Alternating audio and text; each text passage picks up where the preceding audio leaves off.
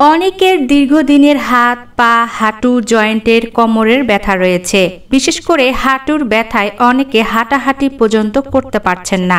তাদের জন্য আজকে খুব সহজ কিন্তু কার্যকরী একটি ঘরোয়া উপায় নিয়ে এসেছি। খুব সহজে এটি হাঁটু, হাড়, জয়েন্ট, কোমরের ব্যথা দূর করতে পারবে এবং এর ব্যবহারও খুব সহজ। অত্যন্ত সহজলভ্য। কোনো রকমের টাকা পয়সা খরচ না করেই আপনি এই ব্যথাকে একদিনের মধ্যেই দূর করতে পারবেন। কীভাবে দূর করবেন তা আমরা এখনই জেনে নেব। তার আগে বন্ধু, একটি কথা, আর তা হলো, ভিডিওটি ভালো লাগলে বেশি বেশি করে শেয়ার করে দিন। আপনার একটি শেয়ারে অনেকেই উপকৃত হতে পারবে। যারা বে হিসেবে খাওয়া দাওয়া করছেন, ওজন খুবই বেশি এবং সেই সঙ্গে পেটে গ্যাস, অ্যাসিডিটিও খুব বেশি হচ্ছে, তাদের কিন্তু হাড়, জয়েন্ট বিশেষ করে হাঁটুর ব্যথা বেড়ে যাওয়ার সম্ভাবনা খুবই বেশি থাকে এবং এই সব মানুষদেরই পর্যায়ক্রমে হাড়, জয়েন্ট, হাঁটুর ব্যথা বা পিঠ, কোমরের ব্যথা লেগেই থাকে। তাদের জন্য এই আয়ুর্বেদিক উপায় খুবই কার্যকরী হবে। দিনের যে কোনো সময় আপনি এই উপায়টি ব্যবহার করতে পারবেন। এমনকি যাদের বয়স অধিক হয়ে গেছে, সত্তরের বেশি যাদের বয়স, তাদেরও কিন্তু বিভিন্ন কারণে এই ধরনের ব্যথা হয় শরীরে। তারাও খুব সহজে এই উপায়টি ব্যবহার করতে পারবেন। আয়ুর্বেদ অনুযায়ী আপনি যদি সঠিক পদ্ধতি মেনে আজকের এই উপায়টি ব্যবহার করতে পারেন বন্ধু, তাহলে এর রেজাল্টও খুবই দ্রুত পাবেন।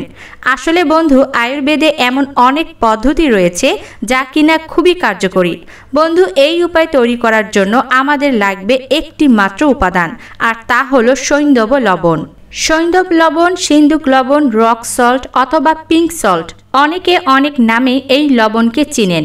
এই লবণ আপনার শরীরের সকল ধরনের ব্যথা দূর করবে। এই সৈন্দব লবণের মধ্যে আছে ম্যাগনেশিয়াম সালফেট, যা অতি দ্রুত ব্যথাকে কম করতে পারে, কারণ এটি রক্ত সঞ্চালনকে অনেক গুণ বাড়িয়ে দেয়। যখনই সঠিক মাত্রায় আমাদের হাড়, জয়েন্ট, বিশেষত হাঁটুর ব্যথার উপর আমরা এই লবণের প্রয়োগ করব, তখনই সেখানকার ব্লাড সার্কুলেশন অনেক গুণে বেড়ে যাবে। যে ব্যথা হয়েছিল, ফুলে লাল হয়ে গেছিল, সেই অবস্থাও একদম দূর হয়ে যাবে। স্বাভাবিকভাবে হাঁটাচলা করতে পারবেন। অনেকের হাঁটু, কোমর, হাত, পা, পিঠ ও মাসেলে অনেক বেশি ব্যথা করে। তারা অবশ্যই এই লবণ ব্যবহার করুন, বন্ধু। আর আপনার শরীরের সকল ব্যথাকে সহজেই দূর করে ফেলুন। বন্ধু, দুইটি পদ্ধতিতে এই সৈন্যব লবণ ব্যবহার করে আপনার ব্যথাকে দূর করতে পারবেন। এখন আমি এই দুইটি পদ্ধতি আলোচনা করব। সেখান থেকে আপনার সুবিধা মতো যে কোনো একটি পদ্ধতি আপনি ব্যবহার করতে পারেন। আর যদি আপনার ব্যথার তীব্রতা বেশি হয়ে থাকে বহু দিনের পুরনো ব্যথা হয়ে থাকে তাহলে একই সাথে একই দিনে দুইবার দুইটি পদ্ধতি ব্যবহার করে আপনার শরীরের সকল ধরনের ব্যথা দূর করতে পারবেন। তবে তার জন্য বন্ধু, আপনাকে প্রথমে এমন দোকানে যেতে হবে যেখানে এই সৈন্দব লবণ পাওয়া যায়। যে কোনো বানিয়াতি দোকান, ভেষজ উপাদান বিক্রি করে এমন দোকান, গ্রোসারি শপ, সুপার শপ, বড় মুদি দোকান যে কোনো জায়গায় গিয়ে আপনাকে এই সৈন্দব লবণ কিনে নিতে হবে। বন্ধু, এই লবণ কেনার সময় আপনি অবশ্যই এরকম দলা বা জমাট বাঁধা অবস্থায় কিনবেন। কখনো কখনো এই লবণ সাদা না হয়ে গোলাপি বা হালকা গোলাপি রঙের হয়ে থাকে। যে রঙেরই হোক না কেন, আপনি এই লবণটি কিনুন এবং সবসময় চেষ্টা করবেন এটা এরকম জমাট বাঁধা অবস্থায় কিনতে। যদি আপনি গুঁড়ো করা বা চূর্ণ অবস্থায় কিনে নেন, তাহলে এর মধ্যে যে কোনো উপাদান মিশিয়ে দোকানদার বিক্রি করতে পারে। বন্ধু, বলা তো যায় না, এই ভেজালের দুনিয়ায় কে কোন উপাদানের সাথে কি মিশিয়ে দেবে? এই জন্য আপনি এরকম জমাট বাঁধা অবস্থায় এই লবণ কিনবেন। বন্ধু, দেখুন, আমি সৈন্দব লবণ গুঁড়ো করে নিয়েছি।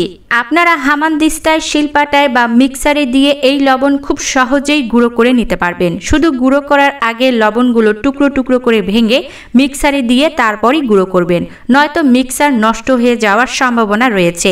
এই গুঁড়ো করা সৈন্দব লবণ আমি প্রথম পদ্ধতির জন্য ব্যবহার করে দেখাচ্ছি।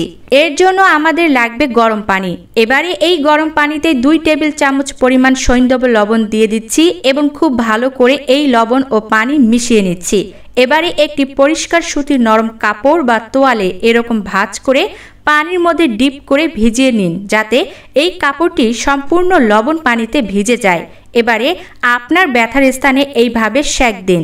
এইভাবে শেক দিবেন অন্তত একবার পানি গরম করে বারো থেকে পনেরো বার। আবারও বলছি বন্ধু, এইভাবে শ্যাক দিবেন অন্তত একবার পানি গরম করে বারো থেকে পনেরো বার। যতটা আপনার ত্বক সহ্য করতে পারে, এতটুকু মাত্রায় গরম পানি আপনি ব্যবহার করুন।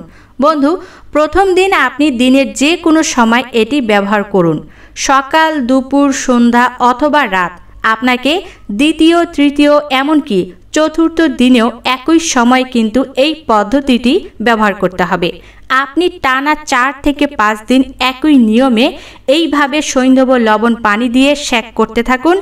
আপনার ব্যথা একইবারই ভালো হয়ে যাবে। কিন্তু সময় আপনাকে অবশ্যই মেনটেন করতে হবে। অর্থাৎ বন্ধু, আপনি আজকে ব্যবহার করলেন, আবার কালকে ব্যবহার করলেন না, সেক্ষেত্রে কিন্তু আপনার ব্যথা ভালো হবে না বা ব্যথা ভালো হলেও অনেক সময় লাগবে। আপনি টানা চার থেকে পাঁচ দিন এই প্রথম পদ্ধতি ব্যবহার করুন। বন্ধু, এবারে আমরা দ্বিতীয় পদ্ধতি জানব। দ্বিতীয় পদ্ধতি হলো আপনি যখন গোসল করবেন, শাওয়ার নেবেন, তখন সেই পানিতে আপনাকে সৈন্ধব লবণ মিশিয়ে নিতে হবে।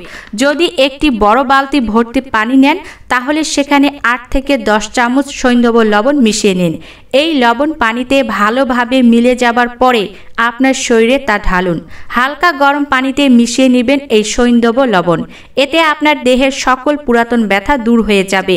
ব্লাড সার্কুলেশন বেড়ে যাবে। এবং এতে আপনার হার্টবিট ঠিক থাকবে, রক্ত সঞ্চালন ঠিক থাকবে, ব্লাড প্রেশার নিয়ন্ত্রণে থাকবে। সেই সাথে সকল ধরনের ব্যথা এমনিতেই ভালো হয়ে যাবে। যে কোনো চর্মরোগ থাকলে তাও ভালো হবে এবং আপনার শরীরে অনেক বেশি প্রশান্তি আসবে। সেই ক্ষেত্রে বন্ধু, আপনি যে হালকা গরম পানিতে লবণ মিশিয়েছেন, সেটি আপনার চুলে ব্যবহার না করাই ভালো হবে বা মুখের ত্বকে ব্যবহার না করে আপনার শরীরে এই পানি ঢালুন। বন্ধু, আবারও বলছি, যাদের ব্যথা অনেক বেশি, তারা একদিনে এই দুইটি উপায় একই সাথে ব্যবহার করুন, তাহলে দ্রুত আরোগ্য লাভ করবেন।